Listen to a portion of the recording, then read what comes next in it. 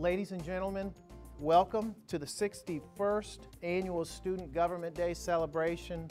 I simply want to say thank you for what you're about to do.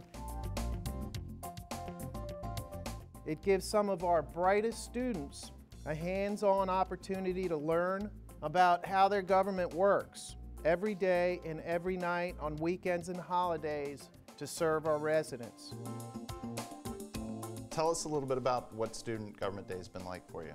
Um, it's actually been really cool just to be able to kind of see a behind the scenes look at what's going on on a daily basis. All Henrico Reads is an annual reading program that encourages the Henrico community to read the same book, then discuss it together.